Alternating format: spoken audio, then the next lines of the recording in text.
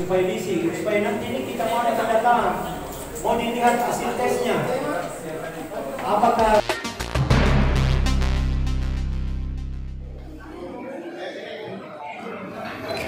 Penjelang pemilihan umum atau pemilu 2024, sejumlah partai politik mulai mengatur strategi untuk menarik simpatik publik guna mendulang suara pemilih. Partai politik juga mulai giat mengadakan konsolidasi temu kader pendidikan politik demi menghadapi pesta demokrasi lima tahunan yang akan memasuki masa tahapan pada Februari 2022 mendatang. Di Kota Palopo, Provinsi Sulawesi Selatan, sejumlah partai politik juga mulai membangun kekuatan agar bisa meraih kursi pada pemilu 2024. Dua partai besar di Kota Palopo yakni Partai Nasdem dan Partai Demokrasi Indonesia Perjuangan atau PDIP, termasuk dua partai yang paling intens mengadakan kegiatan politik. Yang menarik di hari yang sama Minggu 24 Oktober 2021, Partai Nasdem dan PDIP Kota Palopo mengadakan kegiatan politik yakni temu kader dan pendidikan politik. Partai Nasdem Kota Palopo misalnya mengadakan temu kader dihadiri anggota Majelis Tinggi DPP Partai Nasdem yang juga merupakan Wakil Ketua MPR RI Lestari Murdijat. Hadir juga Sekretaris DPW Nasdem Sulsel Syaharuddin Alref, termasuk Ketua Nasdem Luwu yang juga merupakan Wali Kota Palopo Haji Muhammad Judas Amir. Konsolidasi kader Nasdem Palopo ini berlangsung di Auditorium Sokotae. Ikut dihadiri pula kader dan pengurus Partai Nasdem Palopo, termasuk pengurus Partai Nasdem Lubu. Di tengah temu kader Partai Nasdem tersebut, Rere, sapaan akrab Lestari Mordijat memasangkan jaket kepada 20 kader yang resmi bergabung Partai Nasdem Palopo. Nasdem Palopo gencar mengadakan konsolidasi dan temu kader karena mengincar kursi pimpinan DPRD Palopo untuk pemilu 2024 mendatang. Partai Besutan Surya Paloh ini mulai merekrut tokoh berpengaruh untuk mendulang suara rakyat dalam menghadapi pemilu 2024 mendatang. Lestari Mordijat dalam sambutannya mengaku bangga bisa hadir di tengah kader Nasdem Kota Palopo. Dia juga menegaskan pada pemilu 2024 mendatang, Partai Nasdem Palopo harus merebut pimpinan dewan di daerah ini.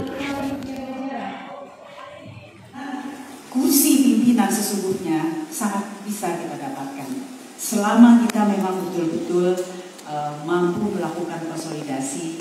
Dan saya yakin kakak-kakak di Sulawesi Selatan dan terkhusus hari ini kita ada di daerah Papua dan teman-teman dari Kabupaten Luwu apalagi kita sudah berhasil memiliki pimpinan-pimpinan dewan di sini. Konsolidasi yang betul-betul secara terarah dan betul-betul uh, mengikuti pola-pola bagaimana sesungguhnya manajemen partai modern dibangun itu menjadi kunci. Ada yang berbeda dengan Nasdem. Nasdem dibangun dari sebuah cita-cita yang kita sudah tahu bersama semangat restorasi, semangat perubahan yang bukan hanya sekedar ada di mulut atau lip service, tetapi sesungguhnya menjadi darah daging kita semua. Tugas kita lah yang ada di depan, garda terdepan, karena kita anggota legislatif adalah orang-orang yang bertugas dan bertanggung jawab menyampaikan nilai-nilai ini kepada publik, bukan dalam arti kampanye, tapi ketika kita menyelesaikan tugas kita, melaksanakan tugas kita, nilai-nilai itu bisa kita kembalikan kepada masyarakat, kita tunjukkan kepada masyarakat bahwa sejatinya beginilah kader partai Nasdem bekerja. Sementara itu DPC PDIP Kota Palopo menggelar temu kader dan pendidikan politik di Sekretariat DPC PDIP Palopo Jalan Nenakan Kota Palopo. Hadir Wakil Ketua DPD PDIP Sulsel Iqbal Arifin memberikan materi terkait kesaktian Pancasila kepada pengurus dan kader PDIP Palopo.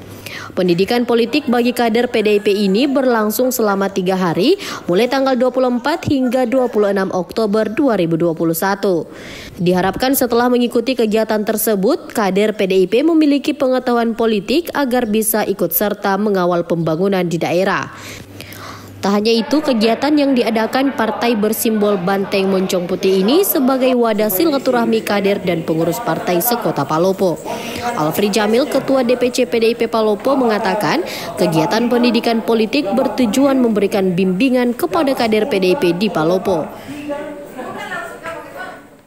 jadi kader Pratama ini adalah uh, memberikan uh, bimbingan dan pelatihan kepada kader-kader PDI Perjuangan untuk bagaimana dia saudara kader, seorang kader ini bisa dapat memimpin ke depan. Nah, dengan melalui kader Pratama ini, tentunya materi-materi yang diberikan itu uh, memberikan motivasi kepada semua kader yang ada di struktural DPC PD Perjuangan Kota Palopo, baik itu di struktural pengurus anak cabang, pengurus ranting atau kelurahan, dan pengurus anak ranting di tingkat RW, dan juga badan dan saya partai. Jadi kader pertama ini memang berdasarkan uh, peraturan partai pada tingkatannya. Jadi di tingkatan kader pertama itu dilaksanakan di setiap kabupaten kota di seluruh Indonesia, yaitu untuk bagaimana uh, mengembangkan ideologi para kader partai yang nantinya akan menjadi pemimpin di partai ke depan. Ayub Sadega, wartawan Surya TV Channel melaporkan dari Kota Palopo, Provinsi Sulawesi Selatan. Supaya diisi, supaya nanti ini kita mau datang-datang, mau dilihat hasil tesnya.